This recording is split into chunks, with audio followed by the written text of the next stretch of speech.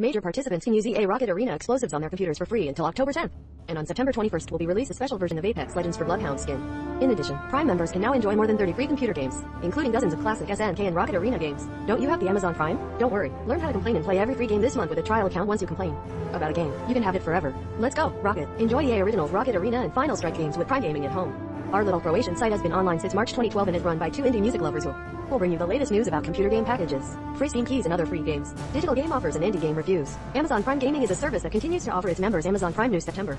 Offers and free games. Until October 10th, members can unlock the Prime Rocket Arena on PC Source. Control the missiles and unique abilities of your hero to take control of the arena and become a champion. Customize your strategy with a growing list of heroes with different skills. Master your hero's missiles and unique abilities to blow up your opponents and take control of the arena in this 3v3 game. Missiles dominate all in the Rocket Arena, an explosive 3v3 shooter game where you never give up the action. Discover new strategies and tactics based on your team. Explore different dynamic maps and discover the true depths of the Rocket Arena. Welcome to a world where the rules are written on rocket fuel. Indie Game Bundles is the world's first batch aggregator.